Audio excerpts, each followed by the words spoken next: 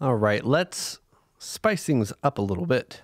We're going to talk about passwords and we're going to add a new requirement. So we're adding more options, five new options, five special characters over here that we're adding. And the program has not been glitching out the last few videos, but it is certainly doing it today. Not sure what's causing it. All right, so we're also allowing five special characters. So there's five more options now in our passwords. But we all are also putting a little requirement. We're saying, I don't want your password to look like this. All right. I'm looking at you. Anyone out there with a password like this? We don't want it. We need at least one digit or special character. So you do this, now you've got a solid password. Okay. So, how do we do this? Conceptually, very straightforward. Just need to count them all up. But we are dealing with big numbers. So we will not be counting them up by hand.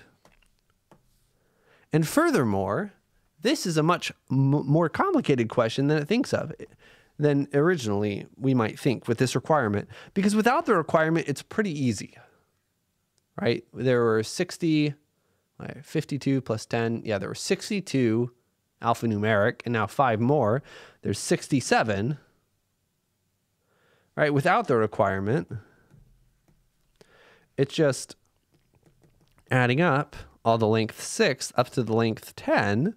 And now there's 67 options for each length. So just add up all those all those results. So without the requirement, it's pretty simple. And again, that's a very, very big number, something times 10 to the 17th at least. Um, billions upon billions, billions of billions, really. I, I don't know. I can't visualize numbers this big, but there's a lot of options. But we need to trim that down to the ones that only have one digit or special character. And that's a much harder prospect because there's there's a lot of ways that this can happen. And all the ways that something can happen is combinatorics. Right? We could have one digit and one special character. One digit and no special characters. No special characters and one digit. We could have one of each. We could have two of one and none of the other. We could have none of the other and two of one Eh, there's so many ways that this can happen. And we have combinatorial ways of dealing with this. But let's count with complements. Instead of finding all the things that do work, it's going to be a lot easier here to find what doesn't work, right? So we're we know the total number of possible passwords with or without the requirement how many of these passwords, how many of these are these many, many, many, many passwords? How many of these don't have any digits or special characters? All right, so let's look at the failed passwords. Okay. Well, failing the requirement is going to be length 6 to 10. So again, it's also going to be adding up just like this. But now no numbers, no special characters, just the 52 letters. 62 letter, whoa, 26 letters, capital or not capital. We'll just add them up. 52 to the 6th plus 52 to the 7th plus 52 to the 8th. That's summation notation. Okay? Well, if we find that, we just subtract them out. And that's it. Really, what we're doing is going back to sets, right? The set, we're curious about how many things are in the set of all possible passwords. All right, maybe we'll write set of good passwords. Um, good passwords. Well, good is a strong statement. Acceptable passwords, we're curious about the size of that set. It's a very big set. all right, and what we're doing is we're just finding the size of the domain of discourse, the size of all passwords with or without the requirement. And we're just subtracting out the bad ones. Subtracting out the size of the bad ones. Or if you want to think about it, right, this is also just looking at the bad passwords complement. All right. Sometimes that's notated with a complement. Sometimes that's notated with a bar on top. I think we did the bar on top, but now there's just so many bars. I don't really like that. I'm pretty sure the notation we used in this class was the bar, the bar on top. Yeah, that's another way of thinking about it. And it's just much easier here. So our total, our answer, right, is just going to be the sum from i goes from 6 to 10 of 67th to the i minus 52 to the i. Or you could do these individually. Be very careful when you're, when you're combining these. You're summing these and you're subtracting these.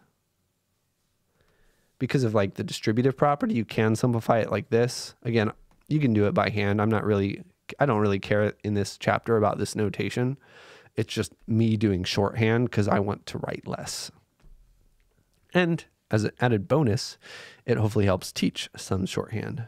So we're going to get a very big number. Let's find out what all these things are. All right. Without the requirement, there's 67 to the ith. i goes from 6 to 10. Very big number. All right, about 1.850 times 10 to the 18th.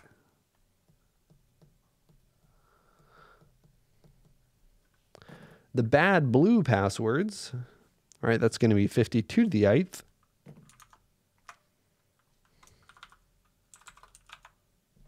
That's 1.474, 10 to the 17th. And again, these numbers are not that close to each other. This is 10 times as big as this. So we're still getting 90% of the passwords, right? We're only throwing out 10% of all possible passwords with this requirement.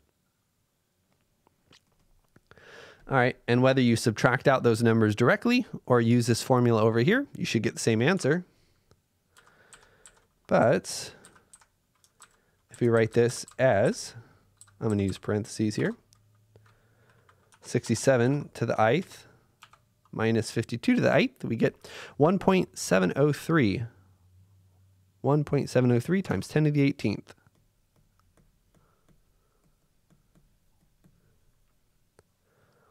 We get most of them left. And again, subtraction with scientific notation looks a little weird, but rest assured, it does work out. Thing about this is 0.14 times 10 to the 18th. 0.14 times 10 to the 18th added to this makes 1.84 times 10 to the 18th. And I rounded a little bit, but yeah, 1.84 is really close to 1.85. They do indeed add together. And that's how we have it. That's a lot of that's a lot of passwords. What's 10 to the 18th look like? 1.703 is what we were.